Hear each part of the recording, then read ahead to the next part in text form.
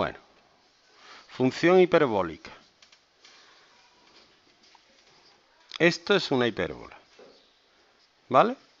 La hipérbola tiene dos cositas, que es la asíntota vertical, que se consigue igualando el denominador a cero.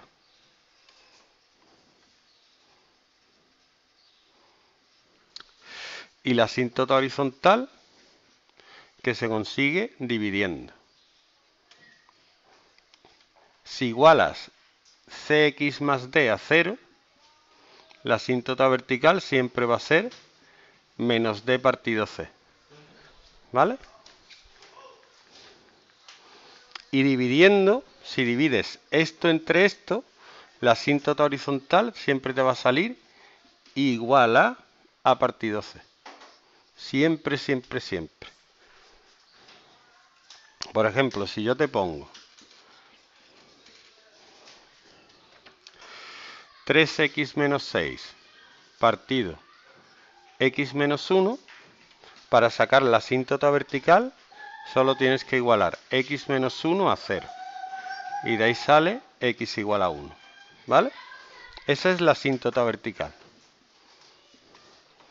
Y para sacar la asíntota horizontal, si lo tienes que hacer, podrías decirlo del tirón. La asíntota horizontal sería 3 partido 1 o sea, el coeficiente de la x aquí partido del coeficiente de la x aquí, que es 3. ¿Vale? Pero si tienes que hacer la división, la haces 3x entre x cabe a 3. ¿Vale?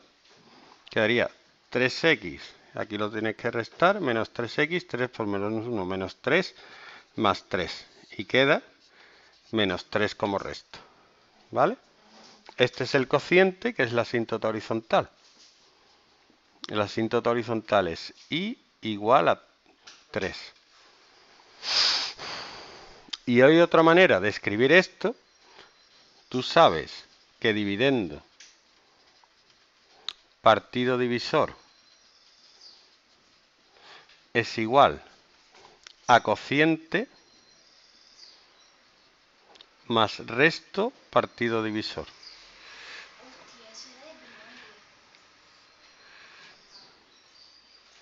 Pues sí. Entonces tú puedes escribir 3x menos 6 partido x menos 1 como el cociente que es 3 más el resto que es menos 3 partido el divisor que es x menos 1. ¿Mm? Este número que te queda aquí es la asíntota horizontal. Y de igualar esto a 0 te sale la asíntota vertical que es x igual a 1. Es que te la pueden dar así o así. ¿Vale? Ahora, ¿qué hago una vez que tengo la asíntota vertical y horizontal? Una hipérbola es así, alrededor del centro, así o así. Entonces, tú coges, dibujas tus ejes y el centro de la figura va a ser la asíntota vertical, que es 1. Y la asíntota horizontal, que es 3. 1, 2 y 3. Este va a ser el centro de la hipérbola. ¿Vale? Entonces, si quieres, puedes hacer una tablita con un par de números a la izquierda y a la derecha. ¿De dónde? De la asintota vertical, que es 1. Entonces te coges el 1, en el 1 no tiene valor la función, pero en el 0 y el menos 1 sí. Y en el 2 y el 3 sí. ¿Cuánto vale para 0? Para 0 valdría menos 6 partido menos 1, 6. ¿Cómo? La vertical. Si sustituyes 1 aquí, no te da menos 3 partido 0 que no existe. Menos 1. Para menos 1 vale. Menos 9 partido menos 2. Menos 9 partido menos 2 es 4,5. Para 2 vale 0, casualmente. Y para 3 vale 3 partido 2, que es 1,5. Si tú dibujas estos puntitos aquí, menos 1, 4,5. Más o menos aquí.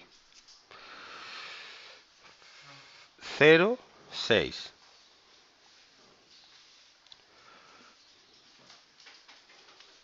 Y los otros puntos 2, 0, que es este, y 3, 1,5, que es este. Te puedes hacer una idea de que la hipérbola esta pasa por aquí, y luego sigue por aquí, aquí no toca, y sigue por aquí a la asíntota horizontal, no la toca nunca. Y por aquí, por aquí baja y no toca nunca, y por aquí sube y no toca. ¿Vale? Sí. Para saber esto,